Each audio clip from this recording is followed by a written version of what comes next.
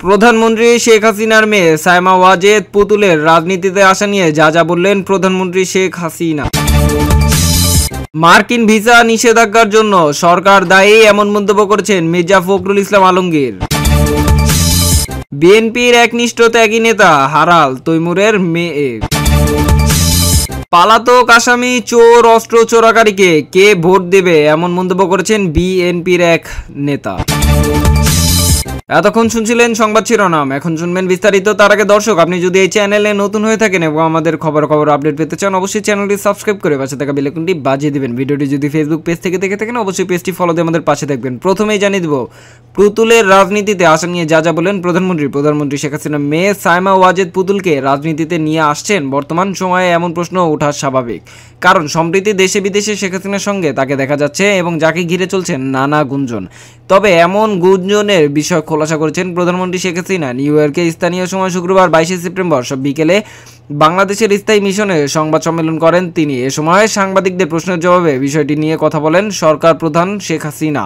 সংবাদ সম্মেলনে অধিকাংশ সময় জুড়েই ছিল সেশন এবং নির্বাচনের প্রসঙ্গ। এর মধ্যেই সাইমা ওয়াজেদ পুতুলের দলের নেতৃত্বে আসছেন কিনা সাংবাদিকদের এমন প্রশ্নে শেখ হাসিনা জানান, তার মেয়ে পুতুল নেতৃত্বে আসার সম্ভাবনা খুবই কম। তবে সমান কাকে দেখা যাবে এ প্রসঙ্গে তিনি বলেন, ভবিষ্যতে কে নেতৃত্বে আসবে সেটা বাংলাদেশের জনগণ আর আমরা দল ঠিক করবে এবং আমার ছেলে ও মেয়েকে শিক্ষা দিয়েছি, তবে তারা শিক্ষাটাই একমাত্র সম্পদ। শেখ হাসিনা বলেন, প্রতুল একমাত্র অটিজম বিশেষজ্ঞ। বিশেষ বিশ্বজুড়ে এসে অটিস্টিক শিশুদের অধিকার সহ বিভিন্ন বিষয় নিয়ে কাজ করে যাচ্ছে। এছাড়া আজকের যে ডিজিটাল বাংলাদেশ গড়েছি, সেটা জয়ের কাছ থেকেই শেখা। জয় আমাকে এ ব্যাপারে সরকার পরামর্শ দিয়েছিল।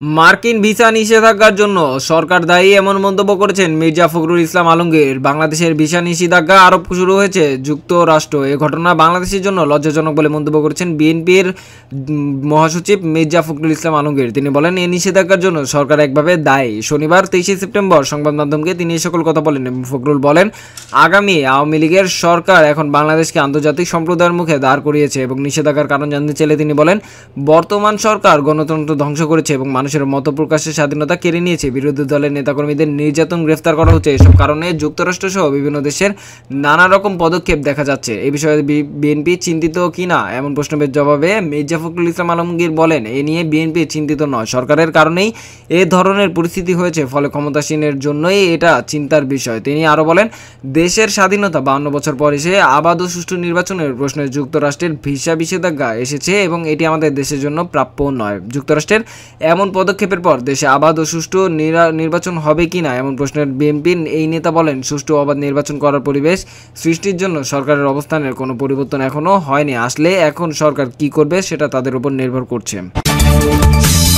বিএনপি একনিষ্ঠ ত্যাগী নেতা হারাল এমন মন্তব্য করেছেন তৈমুরের মেয়ে।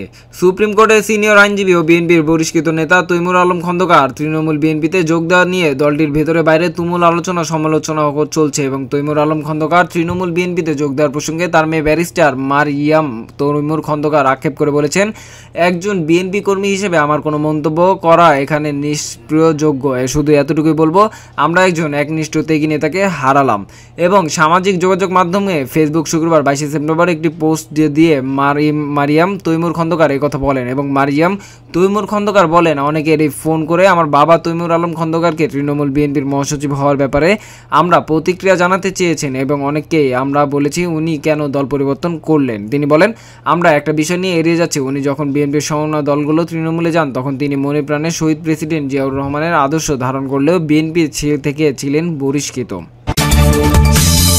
পালাতক আসামি চোর, অস্ত্র চোরাকারীকে কে ভোট দেবে? আওয়ামী লীগের সভাপতি ও প্রধানমন্ত্রী শেখ হাসিনা বলেছেন ইনশাল্লাহ আবার সুষ্ঠু নিরপেক্ষ নির্বাচন হবে। জনগণ সঠিকভাবে ভোট দেবে। শুক্রবার বাইশে সেপ্টেম্বর নিউ ইয়র্কে একটি হোটেলে নিউ ইয়র্ক মহানগর আওয়ামী লীগ আয়োজিত সর্বজনীন নাগরিক সংবর্ধনা অনুষ্ঠানে তিনি এ সকল কথা বলেন। আওয়ামী লীগ সভাপতি বলেন, আসলে বিএনপি কি ইলেকশন চায়? ইলেকশনটা চাইবে কীভাবে? তাদের নেতাকে পালাতক আসামি অর্থ চোর অস্ত্র চোরা কারবারি খুন, একুশে আগস্টের গ্রেনেড হামলাকারী।